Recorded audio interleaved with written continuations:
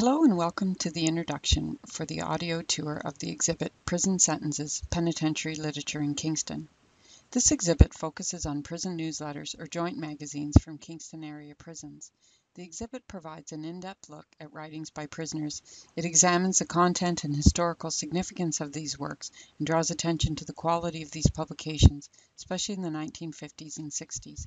It attempts to establish the context and tension in which these newsletters were produced. The idea to have an exhibit of this material came about after the Canadian Penitentiary Museum donated a number of newsletters to the Queen's University Archives. The archives passed along the items to the W. D. Jordan Special Collections and Music Library to add to our existing collection of prison newsletters. Jordan Library now has more than 10 linear feet of prison newsletters, the majority from Kingston Penitentiary, Collins Bay, and the Prison for Women. These bulletins, written and produced entirely by inmates, were professional in their production, as well as the stories that were contained within the pages.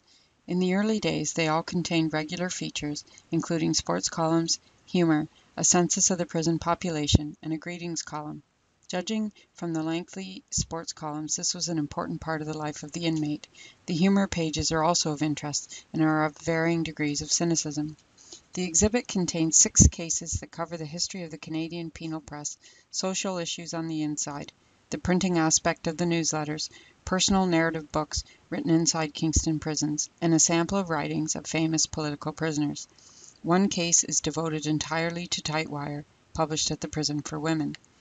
The exhibit would not have happened without the assistance from the following people: Mr. Jim Murphy, retired C.S.C.; Dave St. Onge, curator of the Canadian Penitentiary Museum; Dr. John Vardy; Heather Home, Queen's University Archives; Dr. Alvan Bregman, head, W. D. Jordan Library; Pam Manders, and the rest of the staff at W. D. Jordan Library.